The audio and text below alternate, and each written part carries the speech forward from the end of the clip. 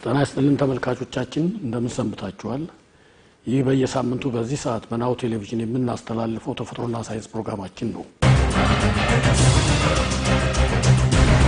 ተመልካቾቻችን የዛሬው እንግዳዬ ዶክተር መሀሪ አለባቸው ይባላሉ። የስርዓተ ምህዳር ተያያዥነትና ተለያይነት ዋና ዳይሬክተር ነበሩ። ተመራማሪም ናቸው። ከኒህ ምሁር ጋር አብረን ዛሬ ቆይታ እናደርጋለን። በመሬት ላይ ያሉትን ነገሮች በብዛት የምንቃኝ ይሆናል። አብራችሁን ቆዩ። እንኳን ደህና መጡ ዶክተር መሀሪ። እንኳን እናንተም እንኳን ደህና ቆያችሁ። በመጀመሪያ ደረጃ ይህን እድል ስለሰጣችሁኝ እኔም በጣም አመሰግናለሁ።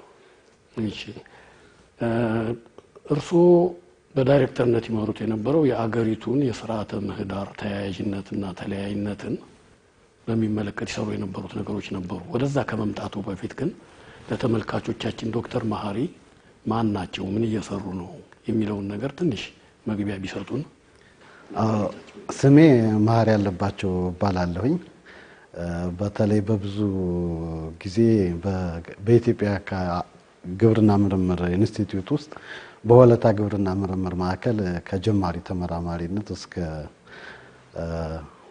ተባባሪ ተመራማሪነት ከ1994 ዓ ም ጀምሮ በሆለታ ግብርና ምርምር ማዕከል ስሰራ ቆይቼ ከዛ በኋላ በ2006 ዓ ም የኢትዮጵያ አካባቢና ደን ምርምር ኢንስቲትዩት ሲቋቋም ከሆለታ ግብርና ምርምር ማዕከል ወደ አዲስ አበባ የሚገኙ ማዕከላዊ የአካባቢና የደን ምርምር ማዕከል ወይም በድሮ ስሙ የደን ምርምር ማዕከል እዛ ተመድቤ ነው ስሰራ የቆየሁትኝ።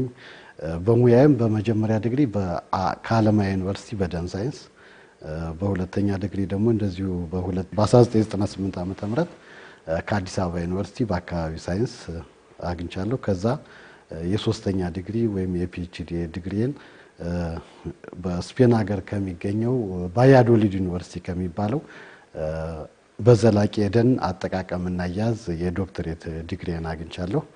የምርምር ስራዬንም የሰራሁት ጭልሙ የተፈጥሮ ደን ላይ ነው።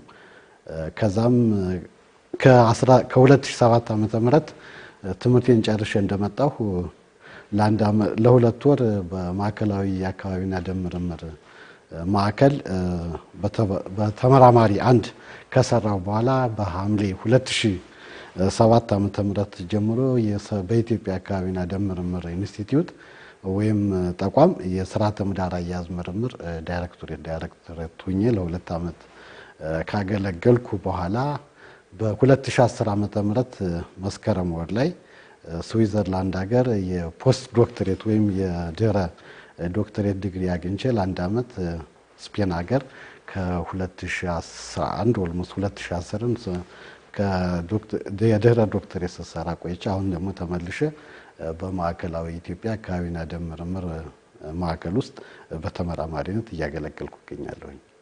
እስኪ ለተመልካቾቻችን ግልጽ ለማድረግ ስርዓተ ምህዳር ምንድን ነው? መሬት፣ ምድር የሚል በጂኦሎጂስቶች እና በእናንተ መካከል ያተረጓጎም ልዩነት እንዳለ ይገባኛልና ግልጽ ለማድረግ አዎ እንግዲህ ስርዓተ ምህዳር ማለት እንግዲህ በኢትዮጵያ አካባቢና ደን ምርምር ተቋም ውስጥ ካሉት ስምንት core process ወይም ዋና የስራ ሂደቶች አንዱ ነው። ስርዓተ ምህዳር ስንል ምንድን ነው? የእጽዋት፣ የመሬት፣ የአፈር በአጠቃላይ ያለው የተለያዩ አካላት እንትን መስተጋብር ማለት ነው። ለምሳሌ እንስሳቱ ሊሆን ይችላል፣ እጽዋቱ ሊሆን ይችላል፣ አፈሩ ሊሆን ይችላል፣ ደቂቅ አካላቱ በዚያ ላይ ያለው በአጠቃላይ የዚያ መስተጋብር ነው ስርዓተ ምህዳር የምንለው ነገር። ለምሳሌ በስርዓተ ምህዳር ውስጥ ደኖች ይኖራሉ፣ እጽዋቶች ይኖራሉ። ስለዚህ የዚያ መስተጋብር በአጠቃላይ ስርዓተ ምህዳር እንለዋለን እና በኢትዮጵያ ወደ ዘጠኝ ዋና ዋና ስርዓተ ምህዳሮች አሉ። ከነዚህ ውስጥ ሰባቱ የደን ስርዓተ ምህዳሮች ናቸው።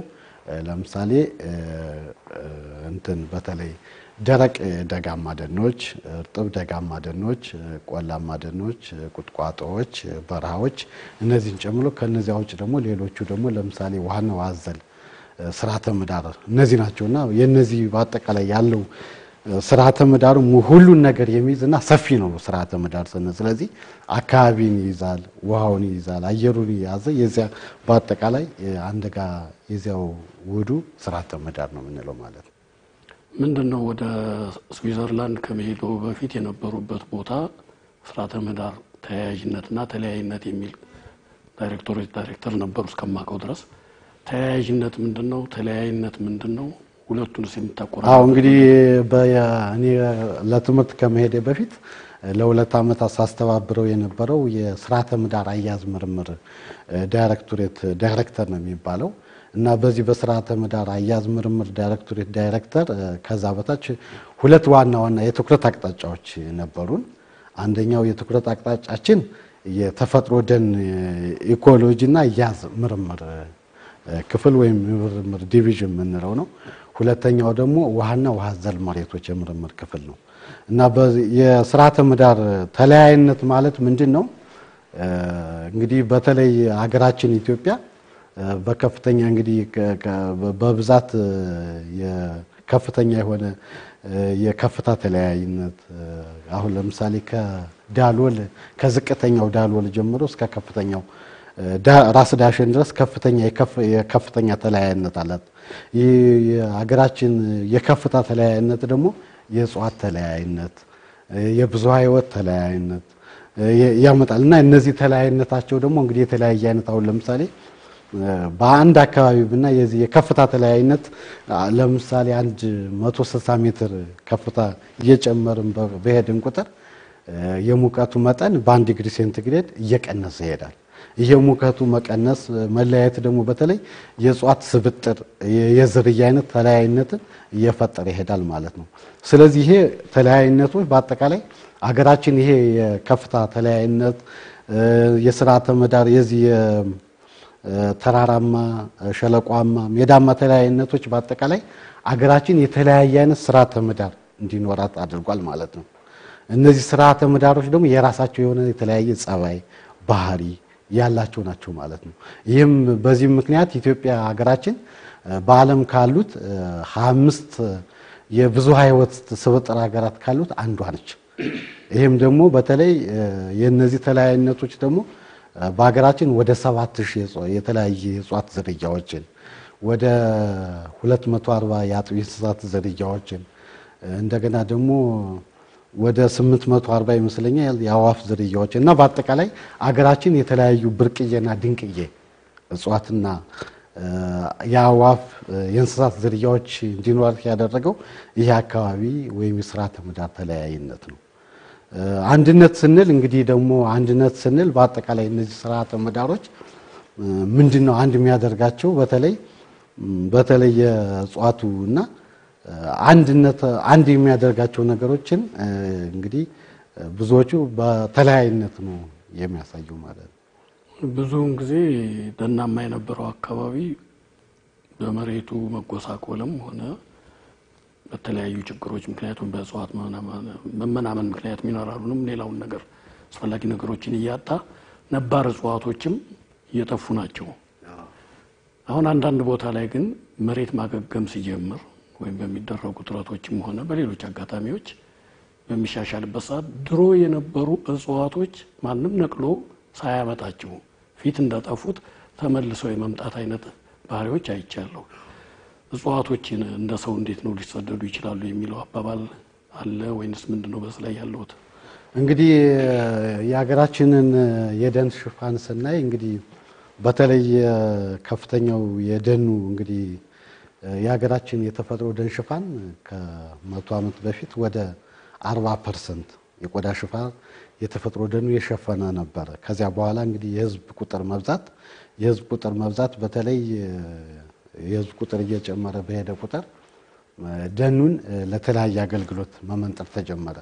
አንደኛ የህዝብ ቁጥር በሚጨምርበት ጊዜ ከፍተኛ አብዛኛው የሀገራችን ህዝብ በተለይ 80 ከ80 እስከ 85 percent ኡ የሚሆነው አርሶ አደር ስለሆነ የኑሮ በተለይ የአርሶ አደሩ ኑሮ የተመሰረተው ብዙ ጊዜ በግብርና ላይ ነው። በግብርና ላይ ማለት ምንድን ነው? በሰብል ማምረትና በእንስሳት እርባታ ላይ ነው። ስለዚህ የህዝብ ቁጥር ከጊዜ ወደ ጊዜ መጨመር በከፍተኛ ደረጃ የአፈር የመሬት ፍላጎትን አስከተለ።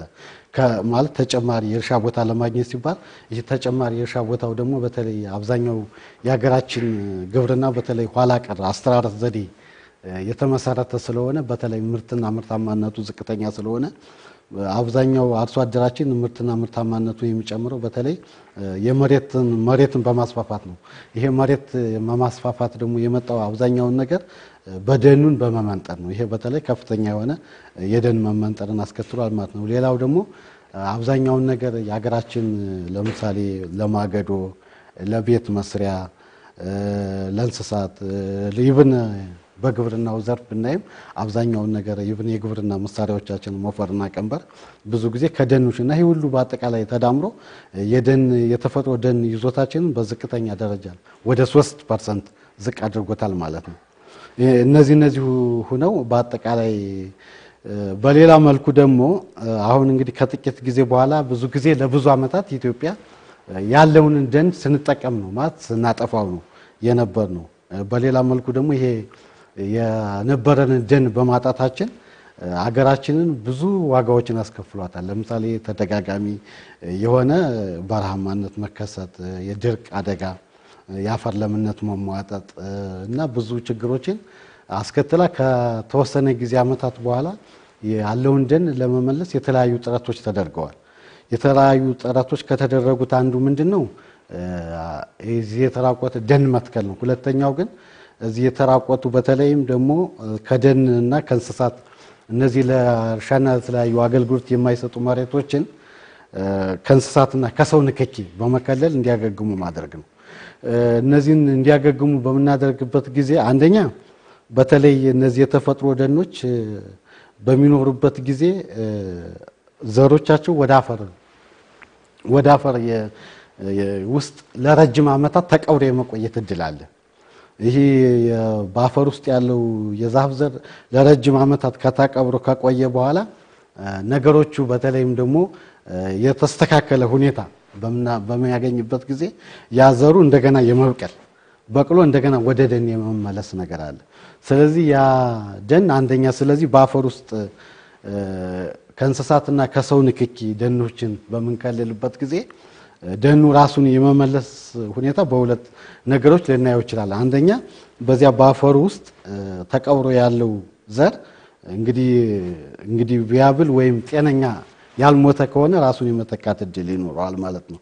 ስለዚህ ያኛው ደኑ በሚያገግምበት ጊዜ አንደኛ ያኛው ደኖች በሚኖሩበት ጊዜ ምንድን ነው የአፈር በዝናብ በሚዘንበት ጊዜ የአፈር ስርገትን ይጨምራሉ። የአፈር የውሃ ስርገትን ማለት በአፈር ውስጥ ያ የውሃ ስርገት ሲጨምር ደግሞ እንግዲህ በተለይ ጠፍተው የነበሩ ምንጮች፣ ወንዞች እንደገና ሊመለሱ ይችላሉ። ስለዚህ ደኖችን አንደኛ በመጠበቅ ሁለተኛ ደግሞ የተራቆቱ ደኖችን ከእንስሳትና ከሰው ንክኪ በምንከላከልበት ጊዜ አካባቢው አንደኛው መልሶ እንዲያገግም እናደርገዋለን። ሁለተኛ በዚያ በአካባቢው ጠፍተው የነበሩ ምንጮች ምክንያቱም የዚህ በመሬት ውስጥ ያለው የውሃ ስርገቱ ስለሚጨምር ground water table የምንለው ነገር ስለሚጨምር ምንጮቹ ተመልሰው የመምጣት እድል አለ። ይህም ደግሞ በተለያዩ የሀገራችን ክፍሎች የታየበት ሁኔታ ነው። ለምሳሌ ባለፉት አስር ዓመታት እንግዲህ በምርምር ካነበብኳቸው ምሳሌዎች የትግራይን ልምድ ብንወስድ እንኳን ወደ አንድ ነጥብ አንድ ሚሊየን ሄክታር የሚሆን የተራቆተ ደን ከእንስሳትና ከሰው ንክኪ በመከለል መልሶ እንዲያገግምበት የተደረገ ሁኔታ አለ። በተመሳሳይ መልኩ በተለይ በአማራ ብሔራዊ ክልላዊ መንግስት በሰሜን ወሎና ደቡብ ወሎ ከእንስሳትና ከሰው ንክኪ አካባቢያችን ከልለን በተለይ የጠፉ ደኖች ተመልሰው እንዲመጡ እንደገና ደግሞ የጠፉ ምንጮችም እንዲመለሱ የተደረገበት ሁኔታ አለ ማለት ነው። ስለዚህ ደኖችን አንደኛ ያለውን ደን በመጠበቅ ሁለተኛ ደግሞ ከእንስሳትና ከሰው ንክኪ በምንከልልበት ጊዜ አንደኛ የጠፉ even አዕዋፍ ሊመጡ ይችላሉ። የተሰደዱ የዱር እንስሳትም በአካባቢው መጥተው ያንን አካባቢ ወይም ያን ስርዓተ ምህዳር የመመለስ ሁኔታዎች አሉ ማለት ነው።